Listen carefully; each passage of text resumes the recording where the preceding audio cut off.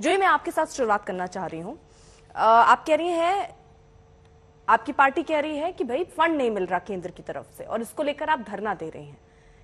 कहाँ दिक्कत है जिसकी वजह से धरना देने की नौबत आई? जी। चित्रा जी पहले मैं आपको रामनवमी का शुभकामनाएँ हम्म। सभी को दर्शकों को आज तक के रामनवमी का शुभकामनाएँ। ठीक है जी जी बस मेरा नाम करेक्ट कर लीजिएगा। अर्पिता आर्या बोल रही हूँ। जी रखिए अपनी बात। जी।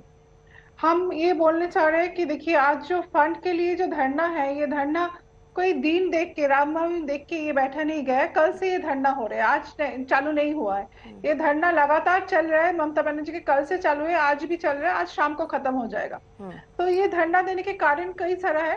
जैसे पहली बात तो हमने बोला कि इतने ज़्यादा विपक्षी को टारगेट सीबीआई और ईडी ने अगर किया है तो कोई अपोजिशन पार्टीज़ को किया है जैसे कि तृणमूल कांग्रेस को किया है। हम्म। अगर आप देखेंगे बंगाल में लास्ट 21 सीबीआई हुआ है 21 महीने में। मतलब बारह महीने में एक तो सीबीआई इंक्वायरी कर दिया गया। सारे ऑपोजिशन के लीडर के खिलाफ कोई भी एक लीडर दिखाइए बीजेपी का जिसके खिलाफ आज तक ये दो चीज़ें अलग रखते हैं। ईडी की कार्रवाई जाँच एक एक सेकंड जाँच एजेंसियों की कार्रवाई एक सेकंड जाँच कार्रवाई ईडी ये थोड़ा अलग रखिए। आज का मुद्दा धरने को लेकर और फंड ना मिलने को लेकर है। तो जरा इस पर हाँ। केंद्रित रहते हैं। आपने कहा कि आप लगातार आपकी सरकार प्रोटेस्ट कर रही है। मुझे बताइए कितनी बार प्रोटेस्ट फंड को ना लेने के लिए ममता बनर्जी धरने पर बैठी है? कितनी बार हुआ ऐसा?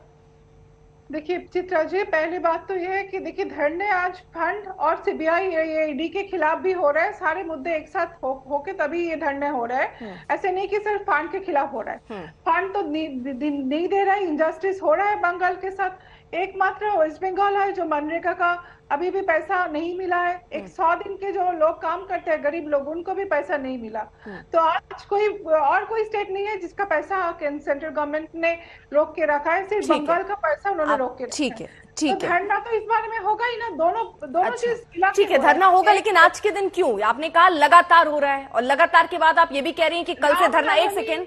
आपने कहा लगातार हो रहा है धरना ठीक है? फिर आपने कहा कल से हो रहा है और आज समाप्त हो जाएगा।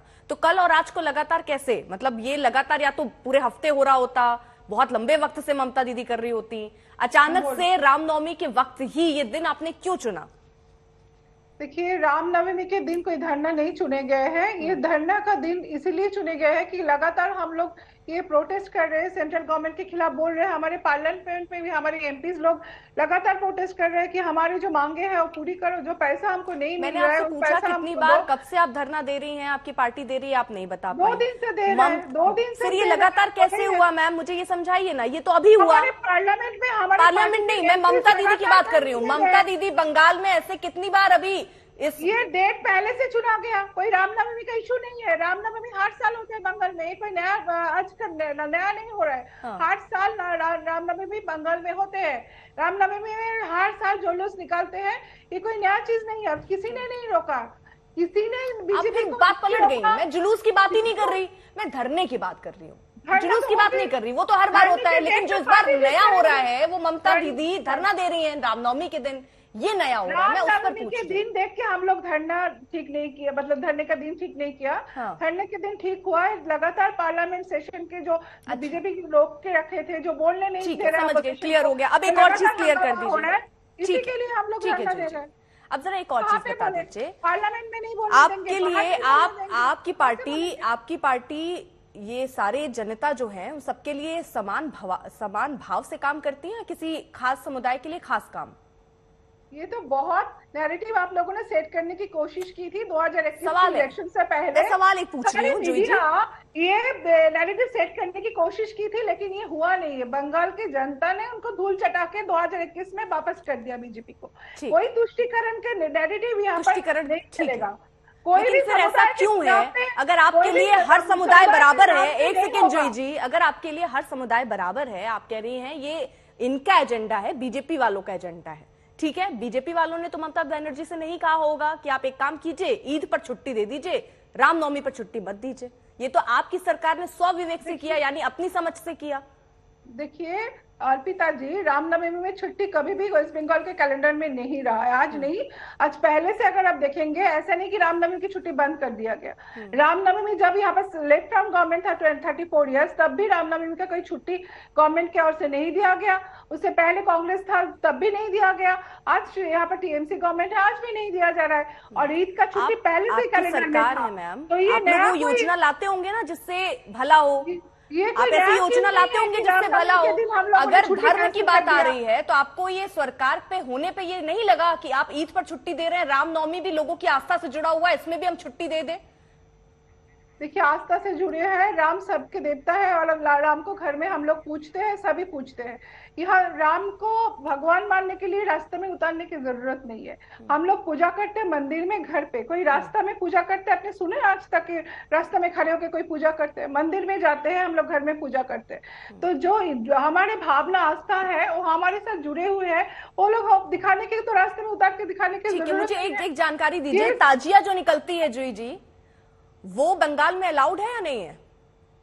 अगर उसके उन धर्म धर्म में वो उनका वो जुलूस अगर वो निकलता है ताजिया के साथ तो तो अलाउड है क्योंकि उस धर्म के अंदर ही आता है। अच्छा तो इसमें क्या तो ये आप कैसे मतलब धर्म की भी कोई अलग से पुस्तक है आपकी सरकार में जो आपने पढ़ा हो जिसमें ये बताया जाता हो कि इस धर्म में ये होगा इस धर्म में ये नहीं होगा? अगर ताजिया निकलना अगर ज़रूरी है तो लोग निकलते हैं। इसमें क्या है? आज तो और इसमें जुलूस निकालना ज़रूरी नहीं है ये आपको किसने बताया मैम? ये कौन से धर्म की किताब में आपने पढ़ा? शोभा यात्रा।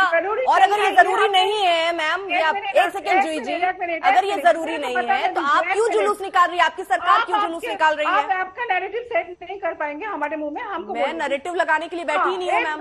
मैं सवाल पूछने के लिए बैठी हूँ वही पूछ रही हूँ। आप हाल हम कहाँ नाराज़ हो रही है। नहीं नहीं नहीं मैं हाँ, नाराज़ नहीं आपको आंसर दे रही हूँ मैं। जुलूस निकालने के लिए कौन मना किया? आज तो पूरा बंगाल में जुलूस चल रहा है।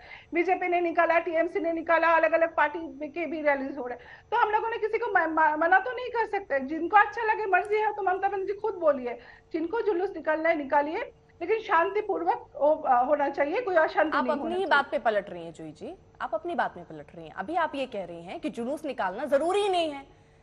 आप मंदिर में जा एक सेकेंड अभी आपने कहा मंदिर में जाके पूजा कीजिए है ना? अभी आपने कहा फिर आप पलट गई कि अगर निकाल रहे हो तो शांति से निकालो। तो पहले तो आप यही नहीं तय कर पा रही कि निकालना है या नहीं निकालना है। दूसरी चीज़ मुझे ये बताइए हिंदी हूँ टीएमसी के आज जुलूस निकाला है। कि नहीं? शोभा यात्रा निकाली गई है आपकी पार्टी की तरफ़ से कि नहीं निकाली गई? मुझे ये बताइए। अभी तो आप कह रही है मंदिर में जाके पूजा कीजिए फिर आप ही की पार्टी शोभा यात्रा निकाल रही है।